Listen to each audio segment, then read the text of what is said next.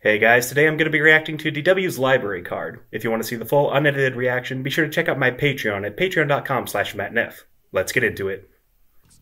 So, fun story, when I was recording this episode of FUDW, I was actually on vacation. Oh god, here she comes. But yeah, I was on vacation, so I ended up recording this in uh, the bathroom of my hotel. And if you've heard the episode of, if you've seen the episode of FUDW that I'm talking about, you'll know the audio kind of sounds like garbage.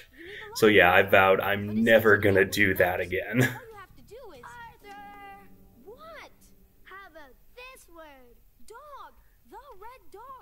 Very fun Clifford reference. If I can't read the red dog, how do you expect me to read that sign? Yeah, great excuse. Because, I mean, you've, like I said in the episode, you've clearly been to the library before. Like, someone has clearly explained this rule to you. Oh, shut up. I've always been curious how these two specifically became friends. Like, I know they sort of bonded over their whole green chip experience, but I don't know. I guess there's been weirder friendships in life.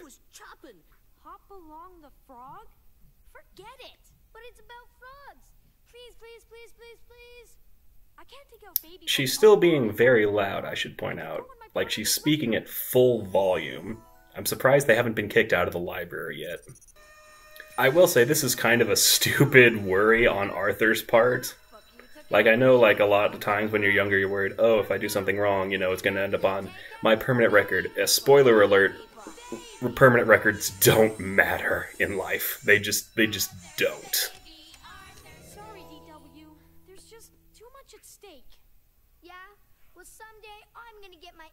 Also, Arthur, what reputation are you trying to protect? Like, you're not the biggest loser in the world, but you're not, you're not Francine level cool. You'll be fine. Are there any questions? When will we be old enough to get our own library cards? I love how they just do oh. not care about the puppet show at all. That's not how library cards work, but okay. Ah, yes, the four year olds that have clearly already gone through puberty. I love the weird, like, when it's very clear that the characters have uh, when the voice actors have been switched out. I always think that's fun to see. This is something I didn't realize until I uh, recorded this episode of FUDW. I didn't realize that the librarian's name was Paige Turner. Uh, that's just a clever little joke that I think they came up with. I, I'm not sure if her character was in the books. If she is, I'm curious if that was her name in the books as well.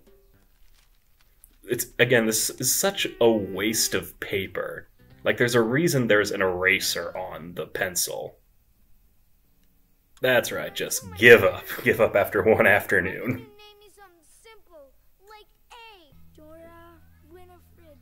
See, you don't have to waste a bunch of paper spelling out your name every single time. I love how the Tibbles are just fully grown adults in this episode. For real though, these types of moments of panic are 100% real. Like you just have your moments where like you completely forget like where you are, the difference between right and left. I like how the card is also bigger than her hands.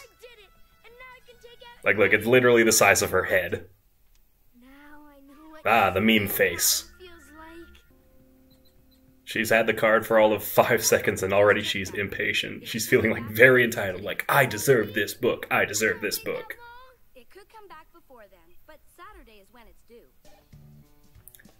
Like, I get that kids are impatient, but like, the level she go to, she goes to, like she's it's not like she's just like bugging her parents, like she's specifically reaching out to the library every single day, multiple times a day.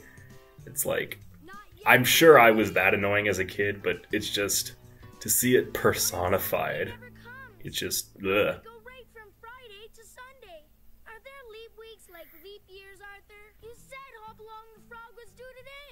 Indoor voice, DW. Karen.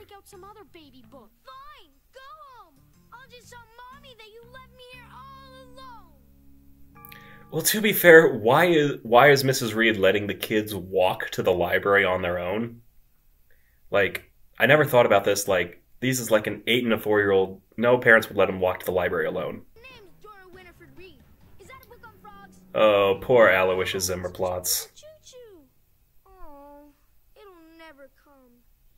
Hi, DW. Up oh, there it is.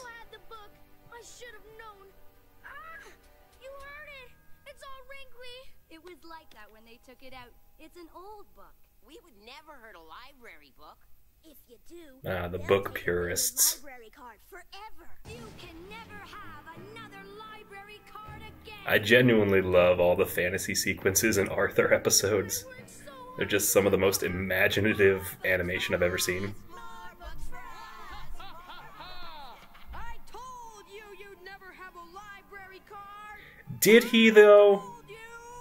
I I don't think he ever actually said the words "you will never get a library card." Like I know he specifically said I'm not going to check the book out for you, but I don't think he ever specifically said you can never get a library card. I mean, you've done enough for me already, Arthur. Maybe later. Huh? He's right to be suspicious. So yeah, when I saw this bit about the calendar, um, I thought, I wonder if that lines up with an actual date on the calendar.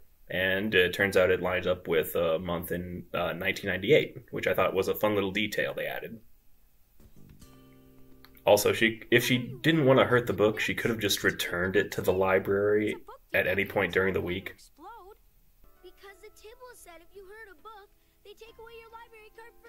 At this point, she should know not to trust anything the Tibbles say.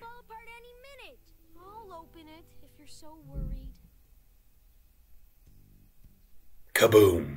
Book out. See, that's my name. You used to have to write your name here whenever you took a book out. I'm curious if the other names of the book are like reference to anyone who like worked on the show, like maybe animators or storyboard storyboard animators. Hopped along the frog, hopped on two I mentioned this in the FD, FUDW episode, but I think it's weird that he didn't remember that he had checked out this book before. What's wrong Like, I get that like it's easy to forget every book you've ever read, but considering how much Arthur loves books, I feel like he would remember the first book he ever checked out from the library. You can take it right out again. It's called renewing a book. I can? And this is where Arthur sets up his own demise.